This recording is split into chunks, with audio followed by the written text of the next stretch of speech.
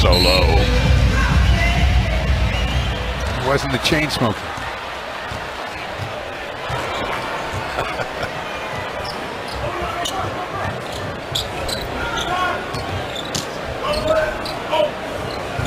Over the top to pass.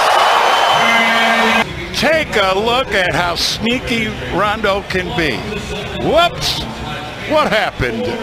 Noah, now watch the alley-oop there. They think he's going one-on-one.